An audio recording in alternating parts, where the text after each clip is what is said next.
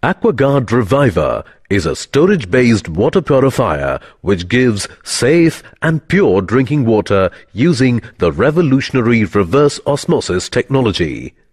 Reviva has a strong and attractive body and comes with a protective and durable top cover. It has a transparent water storage tank, automatic water level sensor and a dual flow tap. Water first goes through the inlet to the pre-filter cartridge. This cartridge removes dust, dirt, mud, rust and other suspended particles from water. Then through the low pressure switch to the clarity cartridge for the fine particle filtration from water. Then the water goes to the chemi block.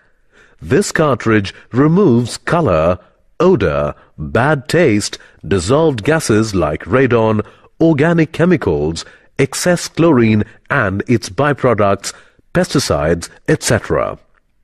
Water then goes to the reverse osmosis membrane cartridge.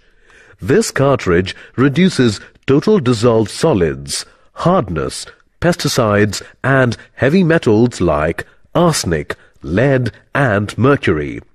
It also removes microorganisms like bacteria, virus, protozoa and cysts.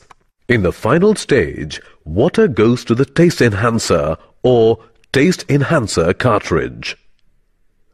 This stage removes any residual organic impurities and revives the original taste of water.